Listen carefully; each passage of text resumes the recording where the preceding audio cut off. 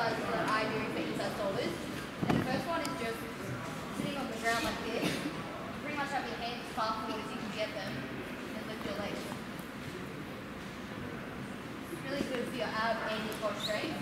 When I do hip training, I do two sets of 20 with a 5 kilo weight across my legs. But the point is trying to put your hands as far forward as you can. That's kind of like Okay. And then I do these.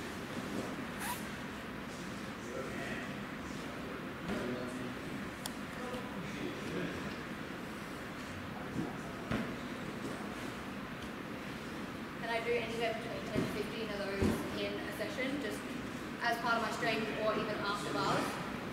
And with this, when I'm in handstand, you'll notice how I actually pop off the floor.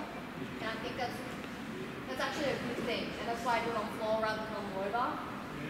Because when you're popping, it's teaching you to push away, and that's exactly what you want to do on the bar. So I think that's a really good drill to do to. Next, we're just going to want to do seated circles.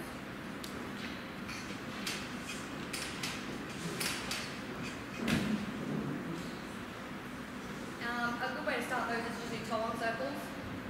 And then once you get momentum, take your feet off and try and do a stoop circle. And then after that, you want to do this.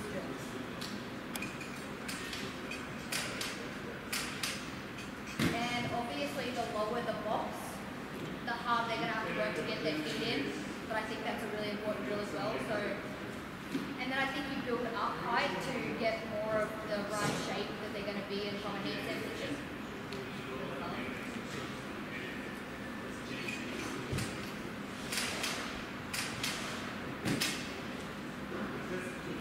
And then I think, um, I was saying before, when they start going from handstands, you kind of put the girls in handstand and lever them down to certain points, start lower and start getting higher, because otherwise if you just, they go from handstand straight away, it might be a little hard to get in. So take it like a clock, build your way up, rather than from handstand right away.